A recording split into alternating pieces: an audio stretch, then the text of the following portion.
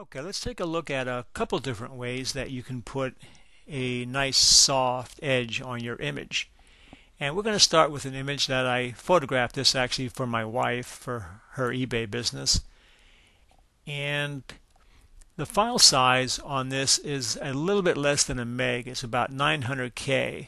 So we're going to start with using the marquee tool and this is all going to be relative to the file size. So we're going to be setting the marquee tool feather at 20. So let's set this at 20 and now we're going to take the uh, cursor we're going to put it on one end and just going to drag it to the opposite end diagonal down so it's roughly about even all the way around and notice we have a little bit of a smooth effect on the corners now, in this case here, I'm using, I'm going to be deleting this, but the, in the background, in this case here, I want to make sure that we have the background color set to white. So the foreground color is black and the background color is white. And this is the default colors on Photoshop. Actually, we're using Photoshop 7. I prefer using this version over the CS versions for this type of photography since they're relatively small files and they're JPEGs. So, okay, that said, we're going to click on actually okay now we have to inverse the selection because we have the center part selected. So we're going to inverse that. Shortcut is control shift I. So notice that once we do that we have selected the outside area now of the marching ants that we originally selected. So Let's click on delete once, twice. So we get a nice softening effect by using the marquee tool. So that's one way. Now, just to give you an idea, I'm going to go back. Let's say we set the feathering at 120 for this file size. Now, a 120 might be good on a much larger file size, but for this, I want to show you the effect that you're going to get so now we're going to select roughly the same area. Now you can see we get more of an oval. So this is going to turn out to be a very, very smooth effect. Control Shift I is going to inverse the selection. Now if we delete it, you could see that it's very, very smooth and we're almost softening the whole thing up. Unless that's what you want, but in this case we're not looking to do that. So, so I just wanted to show you that so you can see the difference when changing your feathering on that. Okay, the other way is using your lasso tool. Now we're going to keep the feathering about the same. Let's make it 20. Let's make it 20 pixels and then we're going to take our lasso tool and this is going to be more of a free form or freestyle. So we're just going to roughly just make it a little bit soft right about there and we're going to hit control shift I again we're going to inverse the selection. Now we're going to hit delete. In this case we get a nice smoothing effect too, but it's more of a free form. And this is good too if this is what you want to do.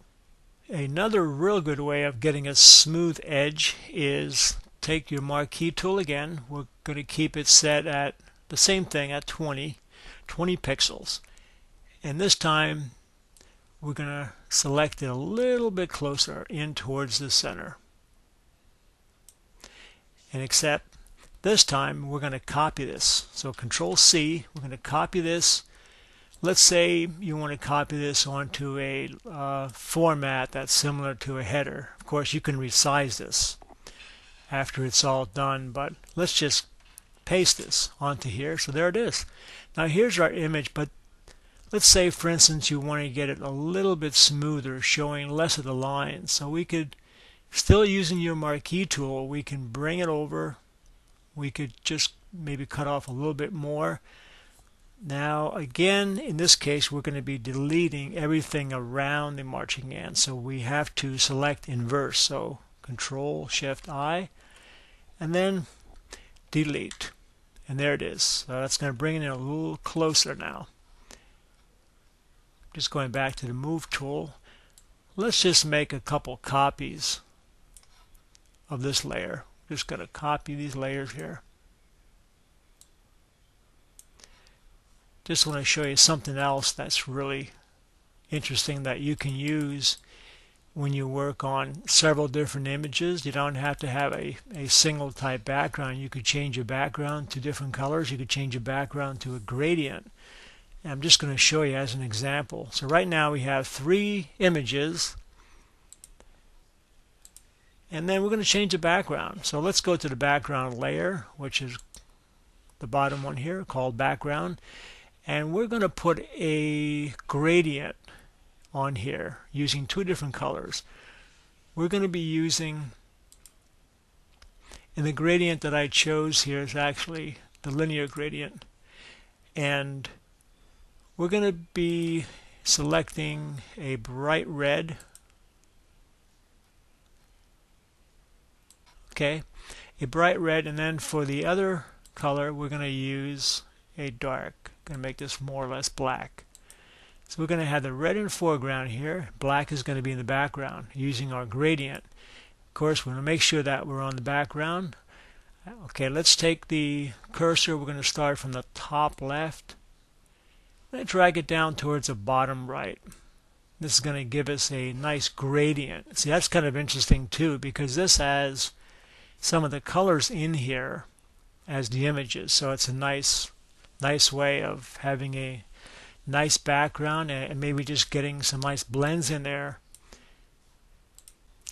Okay, next I'm going to show you how you can blend three images together. So you can incorporate these two methods if you want to. So let's take a look at that.